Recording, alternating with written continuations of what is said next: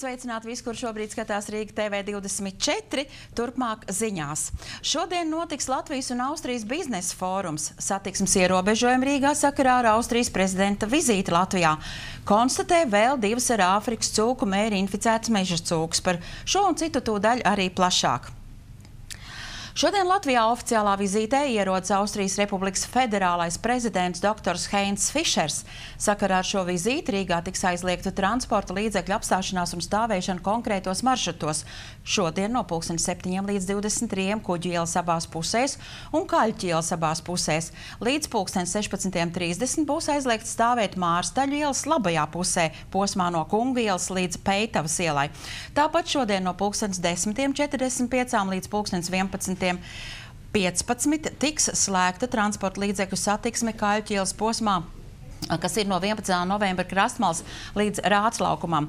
Nepieciešamības gadījumā tiks ierobežota gājēju kustība Rāclaukumā un laukumā pie brīvības pieminekļa. Militārā policija no 11.45 līdz 13. kontrolēs un nepieciešamības gadījumā aizliegs arī ūdens transporta līdzekļu satiksmi pilsētas kanālā. Šodien Rīgā norisināsies Latvijas un Austrijas biznesa fórums. Tas notiks no 14. līdz 19. viesnīcas Redison Blue Daugava hotela zālē Kuģi ielā 24. Fóruma mērķis ir veicināt kontaktu dibināšanu starp Latvijas un Austrijas uzņēmumiem tieši biznesa sadarbības un eksporta veicināšanai. Fórumā Austrijas uzņēmēji pārstāvēs sekojošas nozars informācijas un komunikācija tehnoloģijas, arhitektūru, būvniecību, kā arī dažāda veida produktu klāsta tirzniecību internetā. Biznesa fórumu apmeklēs arī valsts prezidents Andris Bērziņš un Austrijas prezidents Heinz Fišers. Bet to daļu mēs pieslēdzamies starptautiskiem notikumiem. NATO dalībvalstī Francijā vakar ieradās apmēram 400 Krievijas jūras kainieki, lai izietu apmācību saistībā ar darījumu par franču helikopteru bāzes kuģu Mistral piegādi Krievijai. Francija ir nolēmusi izpildīt līguma saistības pret Krieviju un piegādāt tai divus desantu kuģus Mistral, lai gan NATO un ASV ir aicinājuši atteikties no šī 1,2 miljārdu eiro vērtā darījuma, ņemot vērā jaunu sankciju izstrādāšanu pret Krieviju Ukrainas krīzes dēļ. Šis līgums nozīmē, ka pirmo reizi Krievijai tiks pārdotas tik augsta līmeņa NATO aizsardzības tehnoloģijas par Krievijas apbruņošanos un modernākajām rietumkārt tehnoloģijām, bažas jau paudušas vairākas alianses dalībvalstis, īpaši Baltijas valstis. Trīs Izraels pusauģi, kas jūnija vidū tika nolaupīti Jordānas rietumkrastā, vakardienas pašā vakarā tika atrasti miruši un viņu slepkavībā Izraela apsūdz palestīniešu islāmistu kustību Hamas. 16 gadus un 19 gadus vecie jaunieši pēdējo reizi bija redzēti dzīvi ceļu krustojumā pie Hebronas, kad viņi ar Autostopiem devās māju. Viņa meklēšanas operācijas gaitā tika nogalināti pieci palestīnieši un aizturēti vairāk nekā 400, no kuriem divas trešdaļas ir Hamas biedri. Šodien uz savu pirmo sēdi pulcējās jaunais Eiropas parlamenta sasaukums, kurā 751 deputāts kopumā pārstāv 180 sešas nacionālās partijas. Neskatoties uz vairāk nekā 60 vietu zaudēšanu mājā notikušajās vēlēšanās, centriski labējā Eiropas Tautas partija joprojām ir lielākā no septiņām politiskajām frakcijām jaunajā parlamentā. Septiņas politiskās grupas ir tādas pašas kā iepriekšējā sasaukumā, jo galēji labējiem Francijas Nacionālās frontes līderis Marinas Lepēnas vadībā tā arī neizdevās izveidot savu frakciju. Pasaules ziņās tas šorīt viss. Jā, tas šobrīd viss arī, teiksim, brokastu ziņu sadaļā, bet tūdaļ pēc pavisam neliela brītiņa mēs vairāk ieskatīsimies uh, sastrēguma ziņās valsts galvaspilsētā, uzzināsim vairāk par laika prognozi Latvijā un Rīgā, un būs arī divas aktuāls intervijas, viena saistīta ar brīvzemnieku iespējamību Latvijā un otra par Rīga ekotrailu skrējienu. Tas pēc brīža.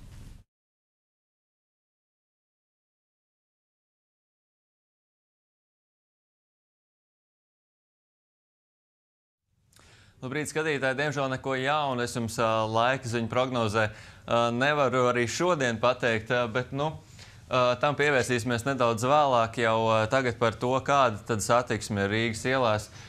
Visai blīva gan Valguma iela, gan arī pie uzvaras bulvāra ir ļoti blīva satiksme. Vēl pats tur knapi šorīt tiku cauri un arī Valdemāra iela, proti Vāņšu tilts un arī Krasta iela ir iekrāsojusies sarkanā krāsā. Diezgan blīva satiksme šorīt. Vienīgais centrs vēl joprojām ir zaļā krāsā, kas nozīmē, ka šeit satiksme Rīgas centrā ir salīdzinoši raiti un ātri arī izbraucama. Bet, nu, kas tad attiecās uz meteoroloģisko laika prognozi? Tad, kā redzams, nokrišņu zona visai stipra un tieši lielākoties uh, Latvijas centrālajā daļā un arī nedaudz vairāk um, tieši Latvijas austrumu daļā līs lietus. Brīžiem tas var būt arī stiprs, bet katrā gadījumā gaidāms ir gan arī visas dienas garumā. Arī mākoņi ļoti, ļoti daudz un visu dienu pārstāgās Latviju. Vienīgais pašā, pašā, pašā vakarpusē jau pie nakts varbūt kļūst pavisam tikai nedaudz mazāk temperatūra. Līdzīgi kā vakardien, vakar plus 17, šodien varbūt plus 18 uh, grādi, bet ļoti līdzīga temperatūra un arī laikapstākļi, kā tas bija vakar, un saglabāsies arī turpmākās vismaz divas dienas. Tas viss laikziņās un arī sastrēguma ziņās. Bet tikmēr studijā godātie skatītāji ir mūsu brokastu ziņu viešņa Dita Rietuma. Labrīt! Un Dita ir Latviešu biedrības valdes locekla, un mēs runāsim par tādu o, konkursu, kas tik, tikko, tikko ir noslēdzies, ko organizēja Latviešu biedrība. Tātad, kas tas bija par konkursu? Jā. Kurš šodien tiek apbalvots, jeb rītā? Rītā. Rītā, rītā jā. Ojāra Vāciešu muzejā, Ojāra Vāciešu ielā 19. Esat arī gaidīti piedalīties, paskatīt, paskatīt mūsu godāto, godalgoto, agronomu no būtniekiem uh, satikt. Un, mēs arī Latviešu biedrības valdi intervēsim šo ļoti viedo cilvēku, kurš ir pratis salikt redzējumu latviešu tautas taktikai. Šajā sarežģītajā laikā, kādā mēs šobrīd esam, bez maz vai pirms trešā pasaules kara nojautās. Un, tu, tu, tu jānospļaujās, ko nepiesauksim. Bet arī lietas. jāsaka tā, ka 2,5. karš ekonomiskais un augstais visu laiku notiek. Un, Burtnieku Andrejs Lucāns ir pratis tomēr noticēt, ka latviešu tauta var, un mēs protams, Latviešu biedrība arī tam Jā. ticam. Dita, varbūt tu varētu vairāk pastāstīt tieši par šī konkursa tādu to virsuzdevumu un tematu, ar kādu šis cilvēks no Lubānas, teica, ja? Jā, ir vinnējs, no burtniekiem. No burtniekiem, jā, es atvainojos, ir vinnējs. Andrejs Lucāns. Jā, Andrejs Lucāns ir vinnējs. Kas tā bija par tēmu un ko tā paredz? Jā, tā tad tēma bija Latviešu tautas taktika šodien. Un, uh, Mēs, Latviešu biedrība, nesajauciet ar Rīgas Latviešu biedrību, jā, jo mēs no, e, esam atjaunojuši Latviešu biedrību divu gadu atpakaļ. Un tajā ir tikai divi vārdi - Latviešu biedrība. Un mūsu valde sastāv no deviņiem cilvēkiem, un mēs tieši strādājam par to, lai tautsaimniecību un tautvaldību atjaunot Latvijā. Tā, te, tādēļ, kad e, satversmes otrais pants, kā mūsu simtgadu atpakaļ viedie vīri nolēma, paredz, ka vara pieder tautai, un tur nu, ir jāatjauno šis paredzējums. Un tam ir vajadzīgs administratīvs risinājums.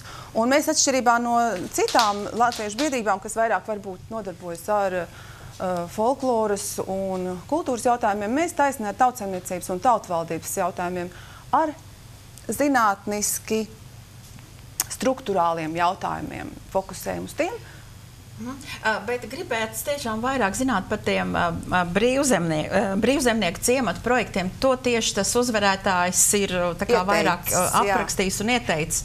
Tātad, kas tā ir par tādu, tādu ideju? Tādu Latvijā nav bijuši, ir bijuši tādi nu, jāsaka tā, kad, ka, kad, lai atbildētu šo jautājumu, jums tomēr būs jā, jāierodas rītā uz šo pasākumu, jo tur jau arī Andrejs būs, vai ne? Mm -hmm. Un viņš jau arī to visu vīziju sevi ir iecerējis, un viņš ir profesionāls agronoms ar milzīgu pieredzi, un viņš jums varēs to izklāstīt noteikti savu redzējumu visās detaļās. E, es personīgi varu tikai pateikt, ka agronomija un atgriešanās pie zemes, protams, ir pārbaudīts, drošs veids, kā latviešiem atgūt savu tēvzemes pārvaldi. Un, uh, mums nav jāizdomā ritenis. Mums viss jau ir bijis un lieliski bijis. Un mums atliek tikai kopēt, iepriekšējos risinājumus un īstenot viņus. Viņi ir pārbaudīti, viņi ir droši, un mums ir tiesības kā pamattautai šī zemē tādu pārvaldi atkal atjaunot, kura deva mūsu tautai lielisku dzīves vidi un plaukstošu demogrāfiju, kas pārsniedz Āzijas tīģeru valstu ekonomiku. Jā, nu šīs, brīvvalsts teiksim, laikā. Jā, šīs idejas uh, ir uh, tātad apspriežamas, tās varēs apspriest rītā, tā teiksim, Ojāra Vāciešu muzejā, cikos atkārto vēlreiz? 16.00. Jā, un tur tad arī visi interesanti, kam interesē tā brīvzemnieku Jā. būšana, varēs iztaujāt uh, Es uzvarētāju gan konkursu. mierināšu arī tos, kuri nevarēs atnākt, kad es jau kā parasti visu filmēju un viss būs pieejams kanālā Free Latvija. Un, un, Tā kā būs iespēja redzēt. Viss mīloši un, un uh, labklājīgi būs visiem pieejams. Bet, protams, jūs arī šobrīd varat iepazīties ar viņa darbu mūsu mājaslapā, Latviešu biedrības mājaslapā labie.lv. Pirmie burti no Latviešu biedrība labie.lv. Tur varat lejuplādēt apakšlapā taktikas komisiju. Jā, kā, kā es sapratu, jūs paši iztaujāsiet uzvarētāju un paši tur arī uh, vēl daudz ko varbūt uh, negribat atklāt, vai arī vēl visu nesat izlasījuši. Nu, varbūt es atklāšu tomēr vēl drusku, un tas ir tajā pašā uh, apakšlapā taktikas komisija. Jūs varat lejuplādēt arī vēl divus taktikas piedāvājumus. Kas ir, kas ir viens no tiem ir Valdis Steins, kas ir piedāvā savu taktikas redzējumu. Un arī es esmu sarakstījusi tur uh, darbu, kas izsaka redzējumu, kā latviešu tautai atgūt savus tēvzemes pārvaldi. Un, um, tie ir ļoti īsi, kodolīgi darbi. Mhm. Un, uh, Tātad uh, ir iespēja iepriekš tam jau sagatavoties Jā. un atnākt rītā tātad četros uz Ojāra Vāciešu muzeju. Dita, man tev jāsaka sirsnīgs paldies par atnākšanu un par uh, šīs tēmas ieskicēšanu. Daudziem Paldies, tas varētu, jā, daudziem tas varētu būt um, tiešām saistoši un interesanti izmantot kādu iespēju jaunu. Bet mēs godātie skatītāji, pirms mēs runājam par ļoti sportisku tēmu, eko, Rī- Rīga eko trail skrējienu, mēs pievērsīsimies vispirms sporta ziņām un Rihardam. Tieši tā, sporta ziņas, un uh, pilnīgi noteikti runāsim, eh, turpināsim kā jau katru rītu arī un uh, lielākās, lielāko daļu ziņu runāt uh, par pasaules kausu futbolā, kur jau noskaidrots trešais ceturdaļu fināla pāris, atlicis noskaidrot vairs tikai vienu. Tā, tā tad rī, rītdien turpināsies spēles, pulksten, atvainojos šodien, pulksten septiņos vakarā Argentīna pret uh, Šveici, bet uh, 23.00 jau Amerikas Savienotās valsts pret Beļģiju un tiks noskaidrots arī uh, ceturtais ceturdaļu fināla pāris, bet vēl par to, kādas spēles tad norisinājās. Arī vakardien, proti, Francija un Nigērija vakardienas spēle. Francija tomēr spēja sala- salauzt Nigērijas pretestību un uzvarēja rezu, rezultātu 2 pret 0, lai gan tas izdevās vien jau tuvojoties mača izskaņai. Savukārt otrā spēlē uh, Vācija pārspēja Alžīrijā rezultātu 2 pret 1. Un, uh, Interesanti, ka visi vārdi tika gūti uh, tikai mača kompensācijas laikā. Pirm, pirmos tos izdevās gūt tieši Vācijas izlasēja, panākot 1-0 kompensācijas laikā, pēc tam uzreiz arī vēl vienu vārdu 2-0. Alžīrijas izlases viens vārds atspēlēja, tomēr atspēlētais izraut neizšķirt un novilkt šo spēli līdz 11 metru sodu sitieniem. Tomēr neizdevās. Tātad trešais pāris Francija, Vācija un gaidam jau tad šovakar noskaidrosim arī ceturto. Tas sporta ziņās viss. Paldies! Jā, bet mēs turpinām ar tīru sportisku tēmu. un Studijā ir Marta Zumberga, kas ir Rīga ekotraila skrējiena dalībniece un arī organizatora. Labrīt! Labrīt. Tātad, Marta, kā noritēja skrējiens? Internetā lasīja, ka tā bijusi lieliska atmosfēra. Cik, kas, kur startēja?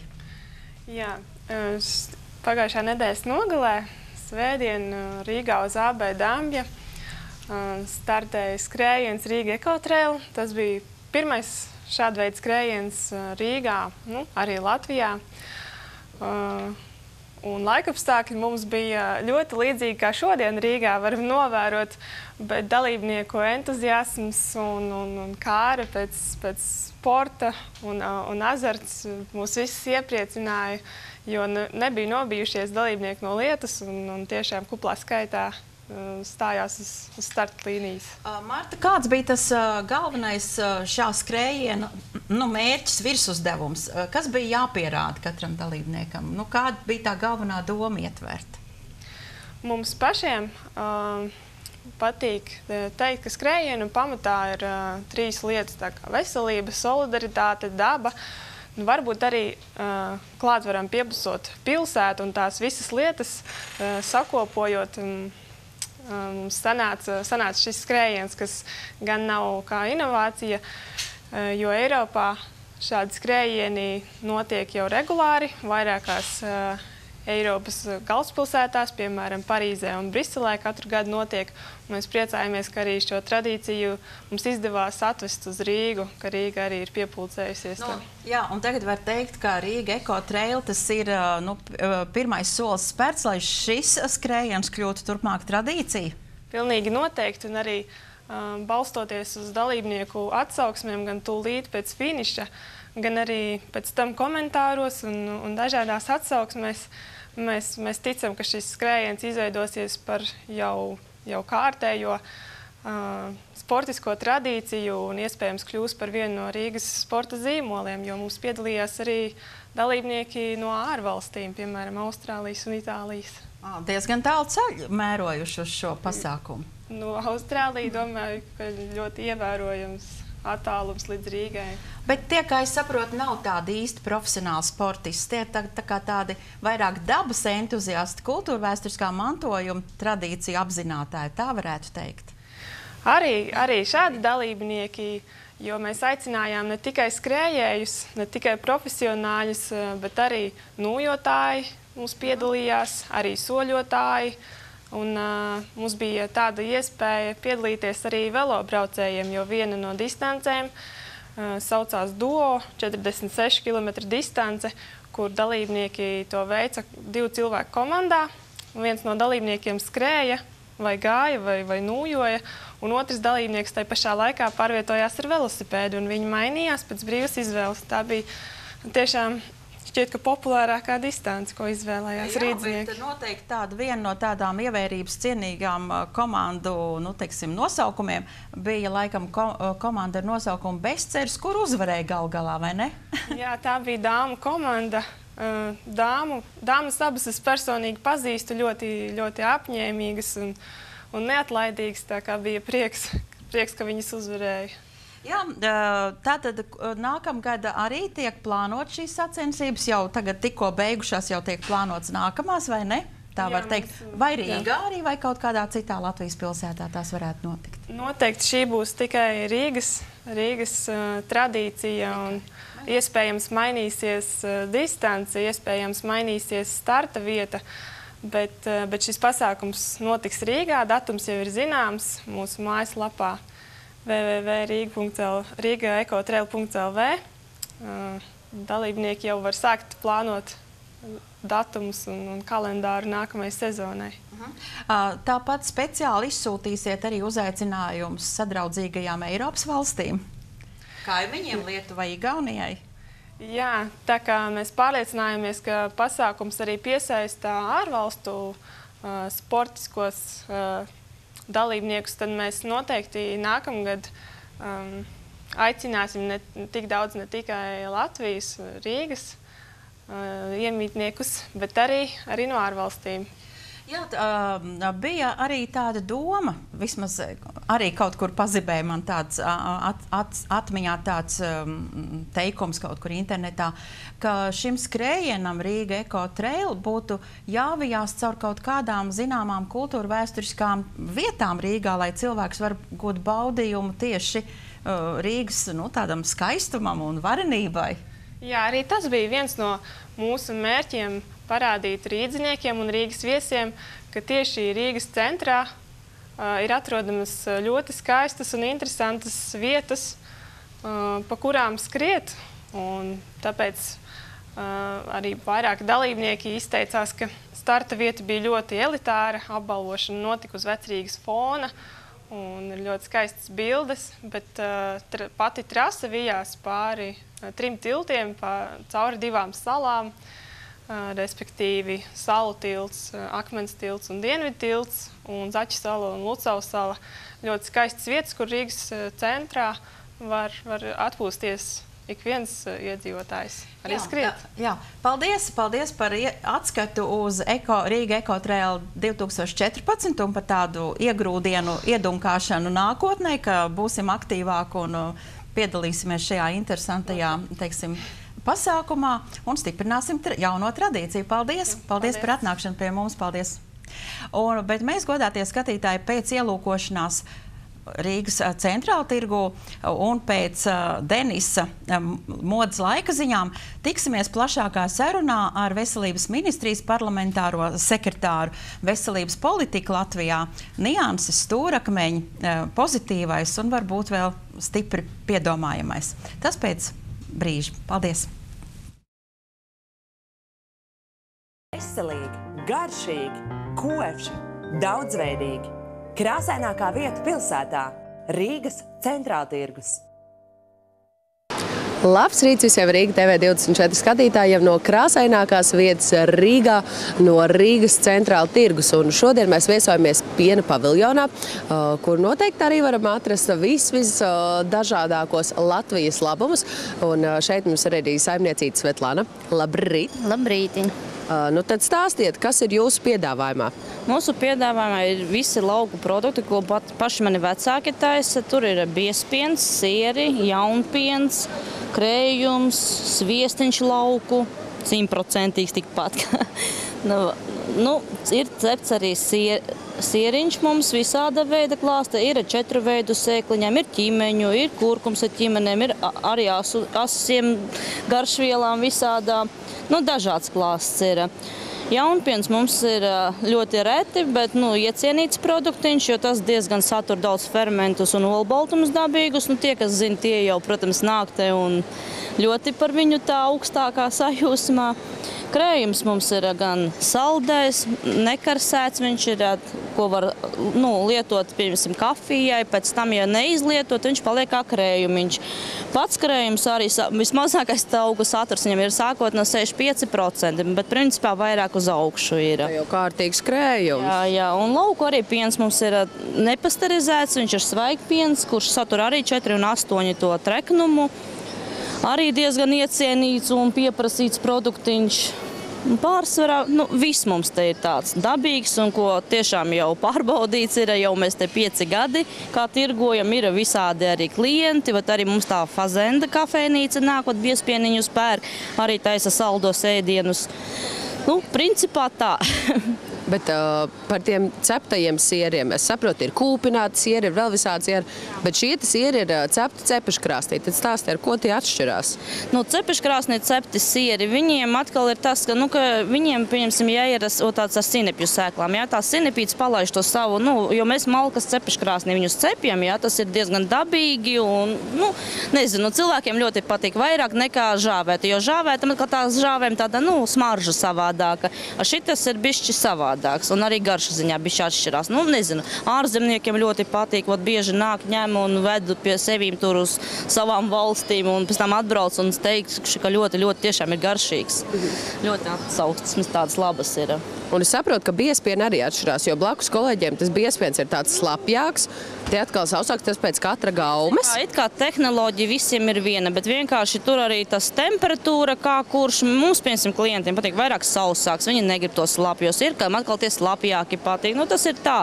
Nu, ir vāja piena, kas satur mazāk, vispār principā 0,5 tā treknuma, bet ir arī treknie, kas ir nu, no 10 līdz 12%. Nu, tur ir kā veselīgāks, viņš ir, tur ir kalcijs, tur viss ir iekšā. Mhm. Un es saprotu, ka jūs taču nu, vietējie no Ogres rajona, vai ne? Mēs sanākam bišķi tālāk uz Lēdmanes pusi. Man vecāki tur dzīvo, jā, mums tur lopiņi viss ir un ganās. Un tā. tā kā kārtīga Latvijas prece, vai ne? Jā, tieši tā. Tāpēc pircēji nākat, droši baudiet un ēdat tāda nobaudīt arī, es saprotu, var vai ne, ja kādam ir tādas šaubas, ka nezinu, gribās vai negribās. Cipā garšo, var teikt, katrs otrais. Mēs dodam visu garšoti, jo savādāk kā tu zini, ko tu pērc. Jā.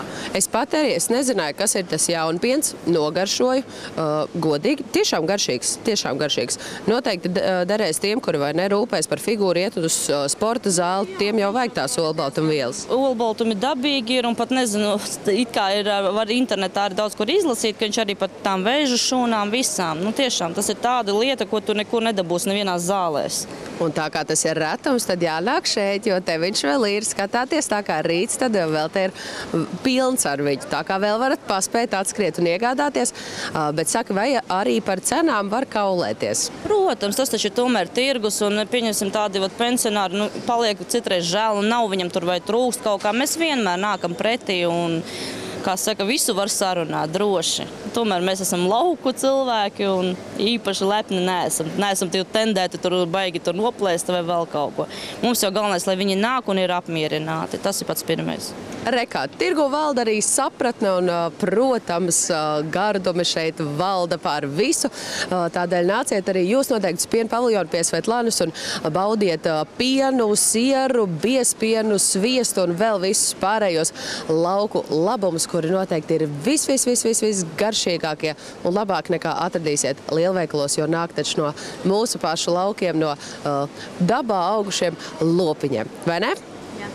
Tā kā tiekamies centrāla tirgu piena paviljonā pie Svetlānas arī turpmāk. Paldies!